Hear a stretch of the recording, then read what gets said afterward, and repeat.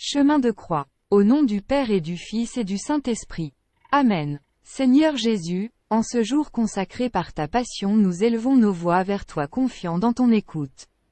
Nous te bénissons car tu es pour nous la source de la vie, tu te charges de nos souffrances, par ta sainte croix, tu as racheté le monde. Nous croyons que par tes blessures nous avons été guéris, que tu ne nous laisses pas seuls à l'heure de l'épreuve, que ton évangile est la vraie sagesse. Nous reconnaissons ton corps martyrisé dans tant de nos frères et sœurs, la violence que tu as subie dans ceux qui sont persécutés, ton abandon dans le tourment de ceux qui sont tués. Toi qui as voulu vivre dans une famille, regarde avec bienveillance nos familles, exauce leurs prières, écoute leurs plaintes, bénis leurs résolutions, accompagne leurs marches, soutiens leurs incertitudes, console leurs amours blessés, insuffle-leur le courage d'aimer, accorde-leur la grâce du pardon, rends-les ouvertes aux besoins des autres. Seigneur Jésus, toi qui es le crucifié ressuscité, fais que nous ne nous laissions pas voler l'espérance. D'une nouvelle humanité, de cieux nouveaux et d'une terre nouvelle, où tu essuieras toute larme de nos yeux. Et il n'y aura plus ni plainte ni gémissement, car les choses anciennes seront passées, et nous serons une grande famille dans ta maison d'amour et de paix. Première station, Jésus à l'agonie au jardin des Oliviers. Ils parviennent à un domaine appelé Gethsemane. Jésus dit à ses disciples, Asseyez-vous ici, pendant que je vais prier. Puis il emmène avec lui Pierre, Jacques et Jean, et commence à ressentir frayeur et angoisse. Il leur dit, Mon âme est triste à mourir. Restez ici et veillez. Allant un peu plus loin, il tombait à terre et priait pour que, s'il était possible, cette heure s'éloigne de lui. Il disait, Abba, Père, tout est possible pour toi. Éloigne de moi cette coupe. Cependant, non pas ce que moi, je veux, mais ce que toi, tu veux. Mac 14, 32 à 36. Nous voici mariés depuis seulement deux ans. Notre mariage n'a pas encore été éprouvé par trop de tempêtes. Il y a eu la pandémie qui a un peu compliqué les choses, mais nous sommes heureux. Nous avons l'impression d'être dans une longue lune de miel, malgré les disputes quotidiennes, malgré nos différences. Pourtant, nous avons souvent peur. Quand nous pensons aux couples d'amis plus âgés qui n'ont pas réussi, lorsque nous lisons dans les journaux le nombre croissant de séparations. Quand on nous dit que nous allons sûrement nous séparer, parce qu'ainsi va le monde, c'est une question de statistique. Quand nous nous sentons seuls parce qu'on ne nous comprend pas. Quand on a du mal à joindre les deux bouts. Quand nous nous retrouvons, étrangers, sous le même toit. Lorsque nous nous réveillons la nuit et que nous ressentons dans notre cœur le poids et l'angoisse de notre orphelinat, parce que nous oublions que nous sommes des enfants. Parce que nous croyons que notre mariage et notre famille ne dépendent que de nous, de nos propres forces. Nous sommes en train de nous rendre compte que le mariage n'est pas seulement une aventure romantique, mais que c'est aussi Gethsemane, c'est aussi l'angoisse avant de briser ton corps pour l'autre. Seigneur Jésus, toi qui as souffert peur et angoisse. Donne-nous la paix, toi qui as prié à l'heure de l'épreuve. Donne-nous la paix, toi qui nous appelles à veiller et à prier avec toi. Donne-nous la paix, notre Père qui est aux cieux, que ton nom soit sanctifié, que ton règne vienne, que ta volonté soit faite sur la terre comme au ciel. Donne-nous aujourd'hui notre pain de ce jour. Pardonne-nous nos offenses, comme nous pardonnons aussi à ceux qui nous ont offensés. Et ne nous laisse pas entrer en tentation, mais délivre-nous du mal. Amen. Seigneur Jésus, toi qui parmi les oliviers paisibles as accepté, en priant, de souffrir pour nous jusqu'à la mort, et la mort sur une croix, écoute nos supplications pour les jeunes époux, Aide-les à faire face aux difficultés en union avec toi, et donne à chacun d'entre nous de rester avec toi à l'heure de l'épreuve. Toi qui vis et règnes pour les siècles des siècles. Amen. Deuxième station, Jésus trahi par Judas et abandonné par ses disciples. Il parlait encore, quand parut une foule de gens. Celui qui s'appelait Judas, l'un des douze, marchait à leur tête. Il s'approcha de Jésus pour lui donner un baiser. Jésus lui dit, Judas, c'est par un baiser que tu livres le Fils de l'homme Voyant ce qui allait se passer, ceux qui entouraient Jésus lui dirent, Seigneur, et si nous frappions avec l'épée? L'un d'eux frappa le serviteur du grand prêtre et lui trancha l'oreille droite. LC 22, 47 à 50, alors Jésus lui dit, Rentre ton épée, car tous ceux qui prennent l'épée périront par l'épée.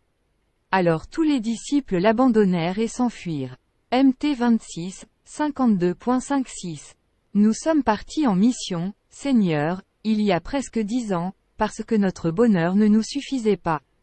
Nous voulions donner notre vie pour que d'autres aussi puissent connaître la même joie. Nous voulions montrer l'amour du Christ même à ceux qui ne le connaissent pas. Peu importe où, la vie communautaire et les activités quotidiennes nous aident à éduquer nos enfants avec une vision ouverte de la vie et du monde. Mais ce n'est pas facile. Nous ne cachons pas l'angoisse et la peur qu'il y a à mener une vie familiale précaire, loin de notre pays. À tout cela s'ajoute la terreur de la guerre, si dramatiquement d'actualité ces derniers mois. Il n'est pas facile de vivre uniquement de foi et de charité car, souvent, nous ne parvenons pas à nous confier pleinement à la Providence. Et, parfois, face à la douleur et à la souffrance d'une mère qui meurt en enfantant et, qui plus est, sous les bombes, ou bien d'une famille détruite par la guerre ou la famine et les mauvais traitements, la tentation vient de répondre par l'épée, de fuir, de t'abandonner, de tout laisser en pensant que cela ne vaut pas la peine. Mais ce serait trahir nos frères les plus pauvres qui sont ta chair dans le monde et qui nous rappellent que tu es le vivant. Seigneur Jésus, toi qui as été trahi par un baiser. Donne-nous la paix, toi qui as été abandonné par tes disciples. Donne-nous la paix, toi qui as connu la solitude et l'humiliation. Donne-nous la paix, notre Père qui est aux cieux, que ton nom soit sanctifié, que ton règne vienne, que ta volonté soit faite sur la terre comme au ciel. Donne-nous aujourd'hui notre pain de ce jour. Pardonne-nous nos offenses, comme nous pardonnons aussi à ceux qui nous ont offensés. Et ne nous laisse pas entrer en tentation, mais délivre-nous du mal. Amen. Seigneur Jésus, toi qui as accueilli avec amour le baiser traître de Judas, écoute nos supplications, donne aux familles en mission le courage de témoigner de ton évangile, et accorde à chacun le courage de répondre au mal par le bien, pour être des bâtisseurs de paix et de réconciliation. Toi qui vis et règnes pour les siècles des siècles. Amen. Troisième station, Jésus est condamné par le Sanhédrin. Les grands prêtres et tout le Conseil suprême cherchaient un témoignage contre Jésus pour le faire mettre à mort, et ils n'en trouvaient pas. Le grand prêtre l'interrogea de nouveau. Es-tu le Christ, le Fils du Dieu béni? Jésus lui dit, Je le suis. Tous prononcèrent qu'il méritait la mort. Mac 14, 55,61 à 62,64.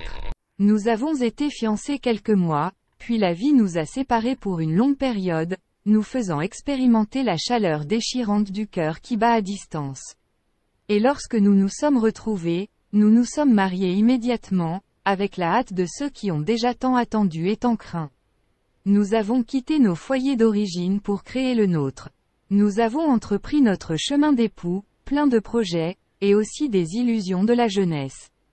Puis la vie nous a découvert plus fragiles et, en même temps, elle nous a dépouillés de nos attentes, nous faisant cheminer sur une route bien souvent ardue, au bout de laquelle nous nous sommes retrouvés face à l'impossibilité de devenir parents, en faisant souvent l'expérience douloureuse de jugement sur notre stérilité. Comment se fait-il que vous n'ayez pas d'enfants Nous a-t-on demandé mille fois, comme pour laisser entendre que notre mariage et notre amour n'étaient pas suffisants pour former une famille. Combien de regards peu compréhensifs avons-nous dû digérer? Mais nous continuons à marcher chaque jour, en nous tenant par la main, en prenant soin d'une communauté de frères et d'amis qui, dans la solitude et la tendresse, est devenue au fil du temps une maison et une famille.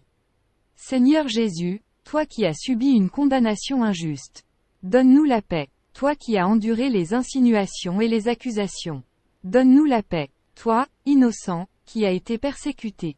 Donne-nous la paix. Notre Père qui est aux cieux, que ton nom soit sanctifié, que ton règne vienne, que ta volonté soit faite sur la terre comme au ciel. Donne-nous aujourd'hui notre pain de ce jour. Pardonne-nous nos offenses, comme nous pardonnons aussi à ceux qui nous ont offensés. Et ne nous laisse pas entrer en tentation, mais délivre-nous du mal. Amen. Seigneur Jésus, toi qui as été injustement condamné, écoute notre prière, accorde aux conjoints sans enfants de marcher main dans la main, en vivant pleinement le sacrement de l'amour conjugal, et à chacun de vivre les adversités avec une douce fermeté.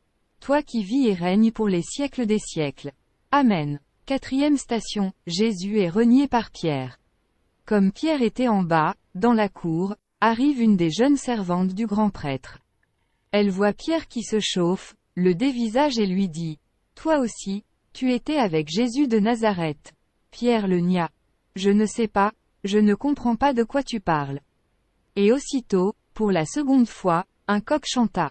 Alors Pierre se rappela cette parole que Jésus lui avait dite. Avant que le coq chante deux fois, tu m'auras renié trois fois. Et il fondit en larmes. Mac 14, 66 à 68,72. Lorsque nous nous sommes mariés, nous pensions qu'on ne pourrait pas avoir d'enfants. Puis, pendant notre voyage de noces, le premier est arrivé et a changé nos vies. Nous avions des projets moins pressés. Nous épanouir dans notre travail, voyager, essayer de vivre au moins pour un temps comme d'éternels fiancés. Et puis, alors que nous étions encore incrédules devant la beauté de ce cadeau, notre deuxième enfant est arrivé, une fille. Et ainsi, en y repensant aujourd'hui, les autres sont arrivés aussi, presque sans même que l'on s'en aperçoive. Et nos rêves, façonnés par les événements. Notre épanouissement professionnel, modifié par les événements de la vie qui font irruption.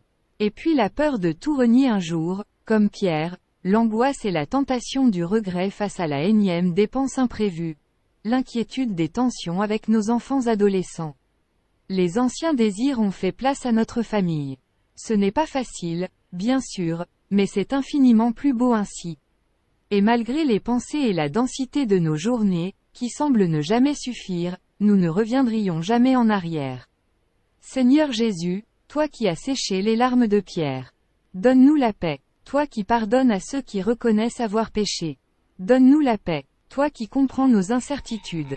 Donne-nous la paix, notre Père qui est aux cieux, que ton nom soit sanctifié, que ton règne vienne, que ta volonté soit faite sur la terre comme au ciel. Donne-nous aujourd'hui notre pain de ce jour. Pardonne-nous nos offenses, comme nous pardonnons aussi à ceux qui nous ont offensés. Et ne nous laisse pas entrer en tentation, mais délivre-nous du mal. Amen. Seigneur Jésus, toi qui ouvres les bras à ceux qui demandent pardon. Écoute notre supplication. Accorde aux familles nombreuses de surmonter chaque difficulté avec joie. Et à chacun de toujours se relever après une chute. Toi qui vis et règnes pour les siècles des siècles. Amen. Cinquième station, Jésus est jugé par Pilate. Comme Pilate reprenait. Que voulez-vous donc que je fasse de celui que vous appelez le roi des Juifs? De nouveau ils crièrent. Crucifie-le. Pilate leur disait. Qu'a-t-il donc fait de mal? Mais ils crièrent encore plus fort. Crucifie-le. Pilate, voulant contenter la foule, relâcha Barabbas et, après avoir fait flageller Jésus, il le livra pour qu'il soit crucifié. Mac 15, 12 à 15. Notre fils avait déjà été jugé avant de venir au monde. Nous avions rencontré des médecins qui se sont occupés de sa vie avant sa naissance, et des médecins qui nous ont fait clairement comprendre qu'il valait mieux ne pas lui donner naissance. Et lorsque nous avons choisi la vie, nous avons également fait l'objet d'un jugement, il sera un fardeau pour vous et pour la société. Crucifiez-le. Pourtant, il n'avait rien fait de mal. Combien de fois le jugement du monde est hâtif et superficiel et nous fait mal, même par un simple regard. Nous portons sur nous la honte d'une diversité qui souvent fait pitié mais n'est pas habitée. Le handicap n'est ni une gloire ni une étiquette, mais plutôt le vêtement d'une âme qui préfère souvent se taire face aux jugements injustes, non par honte mais par pitié envers ceux qui jugent. Nous ne sommes pas à l'abri de la croix du doute ou de la tentation de nous demander comment ça aurait été si les choses avaient été différentes. Mais, en réalité, le handicap est une condition, pas une caractéristique, et l'âme, grâce à Dieu, ne connaît pas de barrière. Seigneur Jésus, toi qui as regardé avec amour tes adversaires, donne-nous la paix, toi qui n'as pas craint ceux qui tuent le corps, mais non la vie. Donne-nous la paix, toi qui juges avec un amour miséricordieux. Donne-nous la paix. Notre Père qui est aux cieux, que ton nom soit sanctifié, que ton règne vienne, que ta volonté soit faite sur la terre comme au ciel. Donne-nous aujourd'hui notre pain de ce jour. Pardonne-nous nos offenses, comme nous pardonnons aussi à ceux qui nous ont offensés. Et ne nous laisse pas entrer en tentation, mais délivre-nous du mal. Amen. Seigneur Jésus, toi qui as été jugé par les logiques du monde. Écoute nos supplications. Pour les familles dont les enfants souffrent. Soulage-les dans leur fatigue. Et donne à chacun de choisir, de toujours protéger et d'aimer la vie malgré tout. Toi qui vis et règnes pour les siècles des siècles. Amen. Sixième station, Jésus est flagellé et couronné d'épines. Pilate, voulant contenter la foule, relâcha Barabbas et, après avoir fait flageller Jésus, il le livra pour qu'il soit crucifié. Ils le revêtent de pourpre, et lui posent sur la tête une couronne d'épines qu'ils ont tressée. Puis ils se mirent à lui faire des salutations, en disant, Salut, roi des Juifs. Ils lui frappaient la tête avec un roseau, crachaient sur lui, et s'agenouillaient pour lui rendre hommage. Mac 15, 15,17 à 19. Notre maison est grande, non seulement en termes d'espace, mais surtout pour la richesse humaine qui s'y vit. Depuis le début de notre mariage, nous n'avons jamais été seulement deux.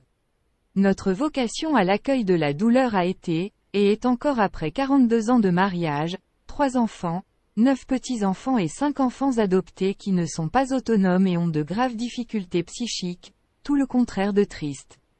Nous ne méritons pas une telle bénédiction dans la vie. Pour ceux qui croient qu'il n'est pas humain de laisser seuls ceux qui souffrent, l'Esprit Saint met au plus profond de la volonté d'agir et de ne pas rester indifférent. La douleur nous a changés. La douleur ramène à l'essentiel, elle remet les priorités de la vie à leur place et restaure la simplicité de la dignité humaine, en tant que telle. Sur la voie douloureuse de la vie de tant de personnes flagellées et crucifiées, à côté d'elles, sous le poids de leur croix, nous avons découvert que le vrai roi est celui qui se donne et se donne en nourriture, corps et âme. Seigneur Jésus, toi qui as été flagellé dans ta chair et dans ton esprit. Donne-nous la paix. Toi, innocent, qui as connu la douleur. Donne-nous la paix. Toi qui as été humilié, insulté, couronné d'épines. Donne-nous la paix. Notre Père qui est aux cieux, que ton nom soit sanctifié, que ton règne vienne, que ta volonté soit faite sur la terre comme au ciel. Donne-nous aujourd'hui notre pain de ce jour. Pardonne-nous nos offenses, comme nous pardonnons aussi à ceux qui nous ont offensés. Et ne nous laisse pas entrer en tentation, mais délivre-nous du mal. Amen. Seigneur Jésus, toi qui as souffert de la douleur et du mépris, écoute notre supplication, accorde à nos familles, d'apprendre à accueillir ceux qui sont blessés, et à chacun de prendre en charge et de prendre soin des souffrances des autres. Toi qui vis et règnes pour les siècles des siècles. Amen. Septième station, Jésus est chargé de la croix. Quand ils se furent bien moqués de lui, ils lui enlevèrent le manteau de pourpre, et lui remirent ses vêtements. Puis, de là, ils l'emmènent pour le crucifier. Mac 15, 20. Un matin comme tant d'autres, ma femme s'est évanouie deux fois. La course à l'hôpital et la découverte d'une maladie qui infiltrait déjà son venin dans sa tête. L'opération, la rééducation, les traitements. Et aujourd'hui un quotidien complètement nouveau pour nous tous. Le Seigneur nous parle à travers des événements que nous ne comprenons pas toujours, et il nous conduit par la main pour faire grandir la meilleure partie de nous-mêmes. Elle avait un rôle, une position, un statut. Et elle s'est retrouvée complètement différente, nue, sans défense, crucifiée. Et moi avec elle. Par cette maladie, sur cette croix, nous sommes devenus le pilier sur lequel les enfants savent qu'ils peuvent s'appuyer. Il n'en était pas ainsi auparavant. Je pourrais presque dire qu'aujourd'hui, avec ses yeux pénétrants dans leur douleur glabre, elle est pleinement mère et épouse. Sans fioriture, dans l'essentiel d'une vie plus difficile et nouvelle. Le fait d'être bloqué, cloué par un souci martelant m'oblige surtout, moi qui étais si obstinément orgueilleux, à découvrir dans les autres familles le merveilleux cadeau qu'elles sont.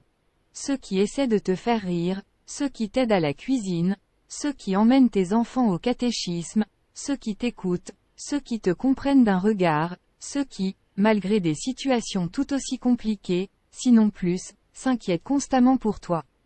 Seigneur Jésus, toi qui n'as pas cherché les honneurs mondains. Donne-nous la paix, toi qui as pris sur toi les fardeaux de tous les mortels. Donne-nous la paix, toi qui as embrassé le bois lourd de la croix. Donne-nous la paix, notre Père qui est aux cieux, que ton nom soit sanctifié, que ton règne vienne, que ta volonté soit faite sur la terre comme au ciel. Donne-nous aujourd'hui notre pain de ce jour.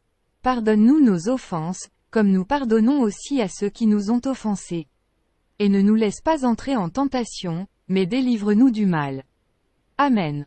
Seigneur Jésus, toi qui as transformé la potence de la mort en une source inépuisable de vie. Écoute nos invocations. Accorde aux enfants de prendre soin de leurs parents, en veillant sur eux avec gratitude. Et à chacun d'apprendre de toi la joie d'aimer, et de se donner généreusement. Toi qui vis et règnes pour les siècles des siècles.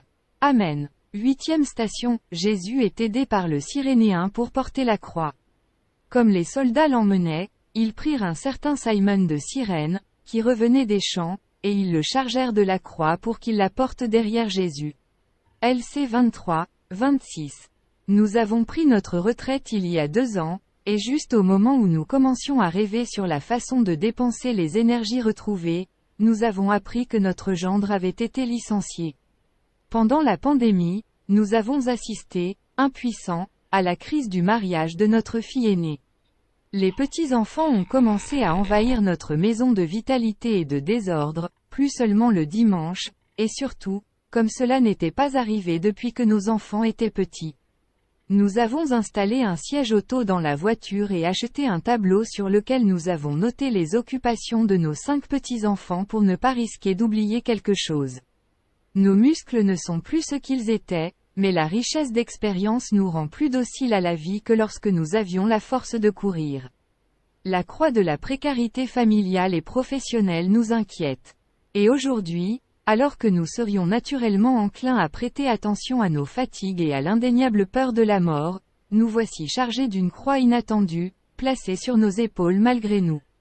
Le pas se fait souvent lent, le soir, après avoir souri, nous nous retrouvons à pleurer de compassion. Mais être de l'oxygène, pour les familles de nos enfants est un cadeau qui nous ramène aux émotions que nous avions ressenties lorsqu'il était petit. On ne finit jamais d'être maman et papa. Seigneur Jésus, toi qui as partagé le fardeau de la croix. Donne-nous la paix, toi qui nous soumets au jugement de ta croix. Donne-nous la paix, toi qui nous demandes de te suivre en portant notre croix. Donne-nous la paix, notre Père qui est aux cieux, que ton nom soit sanctifié, que ton règne vienne, que ta volonté soit faite sur la terre comme au ciel. Donne-nous aujourd'hui notre pain de ce jour. Pardonne-nous nos offenses, comme nous pardonnons aussi à ceux qui nous ont offensés. Et ne nous laisse pas entrer en tentation, mais délivre-nous du mal. Amen. Seigneur Jésus, toi qui nous appelles à porter les fardeaux les uns des autres. Écoute nos supplications, accorde à nos familles. De savoir partager les joies et les fatigues. Et à chacun de grandir dans une fraternité active. Toi qui vis et règnes pour les siècles des siècles. Amen. Neuvième station, Jésus rencontre les femmes de Jérusalem. Le peuple, en grande foule, le suivait, ainsi que des femmes qui se frappaient la poitrine et se lamentaient sur Jésus. Il se retourna et leur dit, Filles de Jérusalem, ne pleurez pas sur moi. Pleurez plutôt sur vous-même et sur vos enfants. LC 23, 27 à 28. Maintenant, nous sommes quatre. Pendant de nombreuses années, nous avons été deux, et nous avons affronté la croix de la solitude et la gestion d'une parentalité différente de celle que nous avions toujours imaginée. L'adoption est l'histoire d'une vie marquée par l'abandon, et qui est guérie par un accueil. Mais l'abandon est une blessure qui saigne toujours. Et l'adoption est une croix que parents et enfants se chargent sur leurs épaules, en la supportant, en essayant d'atténuer la souffrance, mais aussi en l'aimant comme faisant partie de l'histoire de leur enfant. Mais il est douloureux de voir un enfant souffrir de son passé. Cela fait mal d'essayer de l'aimer sans réussir à atténuer tant soit peu sa souffrance. Nous nous sommes adoptés réciproquement. Et il n'y a pas un jour où nous ne nous réveillons en pensant que cela en valait la peine, que tous ces efforts ne sont pas vains, que cette croix, bien que douloureuse, cache un secret de bonheur. Seigneur Jésus, toi qui as recueilli le regard des femmes de Jérusalem.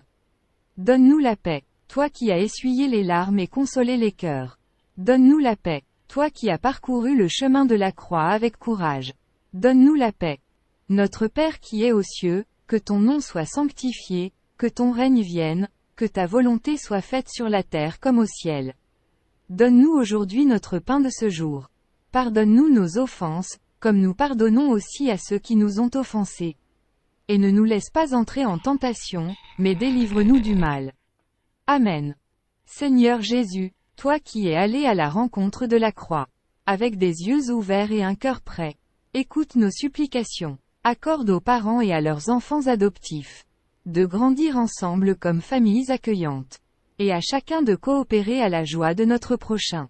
Toi qui vis et règnes pour les siècles des siècles. Amen. Dixième station, Jésus est crucifié. Lorsqu'ils furent arrivés au lieu dit, le crâne, ou calvaire, ils y crucifièrent Jésus, avec les deux malfaiteurs, l'un à droite et l'autre à gauche. Jésus disait, Père, pardonne-leur, ils ne savent pas ce qu'ils font. Puis, ils partagèrent ses vêtements et les tirèrent au sort. Le peuple restait là à observer. Les chefs tournaient Jésus en dérision et disaient, Il en a sauvé d'autres, qu'il se sauve lui-même, s'il est le Messie de Dieu, l'élu. Les soldats aussi se moquaient de lui. S'approchant, ils lui présentaient de la boisson vinaigrée, en disant, Si tu es le roi des Juifs, sauve-toi toi-même. Il y avait aussi une inscription au-dessus de lui, Celui-ci est le roi des Juifs. LC 23, 33 à 38. Nous sommes une mère et deux enfants.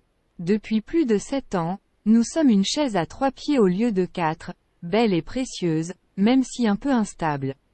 Sous la croix, chaque famille, même la plus bancale, la plus douloureuse, la plus étrange, la plus mutilée, trouve son sens le plus profond. La nôtre aussi. Nous avons fait l'expérience, non sans larmes et sans douleur, que Jésus, dans cette étreinte des poutres clouées, nous regarde et ne nous laisse jamais seuls. Il ne nous confie pas seulement l'amour générique d'un créateur à l'égard de ses créatures, mais il nous donne aussi à un ami, à une mère, à un fils, à un frère. À une église qui, malgré tous ses défauts, nous tend la main et, aussi impossible que cela puisse paraître, porte parfois le fardeau à notre place, nous permettant ainsi de reprendre notre souffle de temps en temps. L'amour se multiplie parce qu'il est gratuit, même lorsque je suis tenté de comprendre pourquoi, est-ce, il a sauvé les autres. S'il est le Christ de Dieu, son élu, il n'a pas sauvé aussi mon mari. Mais la blessure de l'un sur la croix est à la fois héritage, lien et relation. L'amour est rendu tangible, car dans notre abîme et nos difficultés, nous ne sommes pas abandonnés. Seigneur Jésus, toi qui as tendu les bras sur la croix. Donne-nous la paix. Toi qui, pour nous sauver, ne t'es pas sauvé toi-même. Donne-nous la paix. Toi qui as pardonné à ceux qui t'ont tué. Donne-nous la paix. Notre Père qui est aux cieux, que ton nom soit sanctifié, que ton règne vienne, que ta volonté soit faite sur la terre comme au ciel. Donne-nous aujourd'hui notre pain de ce jour. Pardonne-nous nos offenses, comme nous pardonnons aussi à ceux qui nous ont offensés. Et ne nous laisse pas entrer en tentation, mais délivre-nous du mal. Amen. Seigneur Jésus, toi qui, les bras ouverts sur la croix, étreins ceux qui sont seuls et abandonnés. Écoute notre prière. Accorde aux familles touchées par la perte d'un parent. De te sentir présent dans leur douleur. Et à chacun de savoir pleurer avec ceux qui pleurent. Toi qui vis et règnes pour les siècles des siècles. Amen. Onzième station, Jésus promet le royaume au bon larron. Lorsqu'ils furent arrivés au lieu dit, le crâne, ou calvaire, ils y crucifièrent Jésus, avec les deux malfaiteurs, l'un à droite et l'autre à gauche. L'un des malfaiteurs lui disait, Jésus, souviens-toi de moi quand tu viendras dans ton royaume. Jésus lui déclara, Amen, je te le dis, aujourd'hui, avec moi, tu seras dans le paradis. LC 23, 33,42 à 43. Ce n'est que maintenant que nous sourions en nous rappelant toutes les attentes que nous avions placées dans notre Fils. Nous l'avions élevé pour qu'il soit heureux, pour qu'il s'épanouisse. Pour qu'il suive les traces de son grand-père. Oui, peut-être aurions-nous voulu une vie différente pour lui. Une famille, un travail, des enfants, des petits-enfants. Bref, la normalité. Nous avions déjà vécu sa vie à sa place. Et au contraire, tu es arrivé, et tu as tout bouleversé. Tu as détruit nos rêves pour quelque chose d'encore plus grand. Tu as fait en sorte que sa vie ne suive pas la logique du ⁇ on a toujours fait comme ça ⁇ et tu l'as appelé à toi. Mais comment Pourquoi lui précisément Pourquoi justement notre fils Au début, nous ne l'avons pas bien pris. Nous nous sommes opposés à lui. Nous l'avons abandonné. Nous pensions que notre froideur l'aurait fait revenir sur ses pas. Nous avons essayé d'introduire dans sa tête le doute, l'idée qu'il se trompait complètement. Comme deux malfaiteurs. Mais nous avons compris qu'on ne peut pas lutter contre toi. Nous sommes un vase, et tu es la mer. Nous sommes une étincelle et tu es le feu. Et donc, comme le bon larron, nous te demandons de te souvenir de nous lorsque tu entreras dans ton royaume. Seigneur Jésus, toi qui es mort comme un malfaiteur. Donne-nous la paix, toi qui as transformé la croix en trône royal. Donne-nous la paix, toi qui nous as ouvert les portes du paradis perdu. Donne-nous la paix. Notre Père qui es aux cieux, que ton nom soit sanctifié, que ton règne vienne, que ta volonté soit faite sur la terre comme au ciel. Donne-nous aujourd'hui notre pain de ce jour. Pardonne-nous nos offenses, comme nous pardonnons aussi à ceux qui nous ont offensés. Et ne nous laisse pas entrer en tentation, mais délivre-nous du mal. Amen. Seigneur Jésus, toi qui nous as révélé les mystères de ton royaume, où le plus grand est celui qui sert, écoute nos supplications, guide les parents au service de la vocation de leurs enfants, et accorde à chacun d'être tes fidèles disciples, toi qui vis et règnes pour les siècles des siècles. Amen. Douzième station, Jésus donne sa mère aux disciples bien-aimés. Or, près de la croix de Jésus se tenaient sa mère et la sœur de sa mère, Marie, femme de Cléophas, et Marie-Madeleine. Jésus, voyant sa mère, et près d'elle le disciple qu'il aimait, dit à sa mère, Femme, voici ton fils. Puis il dit au disciple, Voici ta mère. Et à partir de cette heure-là, le disciple l'a pris chez lui. JN 19, 25 à 27. Nous étions cinq dans la maison. Moi, mon mari et nos trois enfants. Il y a cinq ans, la vie est devenue compliquée. Un diagnostic difficile à accepter, une maladie oncologique inscrite à chaque instant sur le visage de notre plus jeune fille. Une maladie qui, n'ayant jamais mis fin à son sourire, a rendu encore plus douloureuse la violence de l'injustice que nous vivions. En plus des moqueries dont la douleur semblait nous avoir déjà recouverts, après seulement six ans de mariage, mon mari nous a quittés par une mort soudaine, nous laissant sur le chemin d'une solitude déchirante, pendant laquelle, en deux ans, nous avons accompagné la plus petite de la maison à son dernier adieu. Cinq années se sont écoulées depuis le début de cette aventure que nous n'avons pas du tout comprise rationnellement, mais la certitude demeure que cette grande croix a été habitée par le Seigneur et l'est encore aujourd'hui. Dieu n'appelle pas ceux qui sont capables, mais il rend capables ceux qui l'appellent, c'est ce que nous a dit un jour une religieuse, et ces mots ont changé notre regard sur la vie ces dernières années. Le plus gros mensonge contre lequel nous nous sommes battus était celui de ne plus être une famille. Je ne connais pas d'autre moyen, pour répondre à mon cœur et à ma douleur dans ma chair, que de me confier au Seigneur qui vit avec moi ce bout de chemin terrestre. Si souvent, pendant les séances de chimiothérapie de ma fille, je me suis senti comme Marie au pied de la croix. Et cette expérience me fait me sentir aujourd'hui, même si ce n'est que pour un petit moment, mère de mon Seigneur. Seigneur Jésus, toi qui as connu le tourment des affections. Donne-nous la paix, toi qui n'as pas donné le dernier mot à la mort. Donne-nous la paix, toi qui nous as donné ta propre mère pour testament. Donne-nous la paix. Notre Père qui est aux cieux, que ton nom soit sanctifié, que ton règne vienne, que ta volonté soit faite sur la terre comme au ciel. Donne-nous aujourd'hui notre pain de ce jour. Pardonne-nous nos offenses, comme nous pardonnons aussi à ceux qui nous ont offensés et ne nous laisse pas entrer en tentation, mais délivre-nous du mal. Amen. Seigneur Jésus, toi qui, avant d'expirer, as voulu nous remettre ta mère et de nous confier à ses soins. Écoute nos supplications. Accorde aux familles marquées par la mort d'un enfant de préserver la grâce reçue avec le don de leur vie, et à chacun de recueillir tes dernières volontés, dans la consolation de l'Esprit. Toi qui vis et règnes pour les siècles des siècles. Amen. Treizième station, Jésus meurt sur la croix.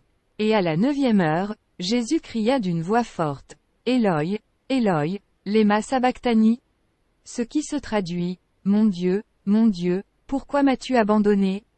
L'un de courut tremper une éponge dans une boisson vinaigrée, il la mit au bout d'un roseau, et il lui donnait à boire, en disant, Attendez. Nous verrons bien si Élie vient le descendre de là. Mais Jésus, poussant un grand cri, expira. Mac 15, 34,36 à 37. Face à la mort, le silence est plus éloquent que les mots. Restons donc dans le silence de la prière, et que chacun de nous prie dans son cœur pour la paix dans le monde. La mort tout autour. La vie qui semble perdre sa valeur. Tout change en quelques secondes.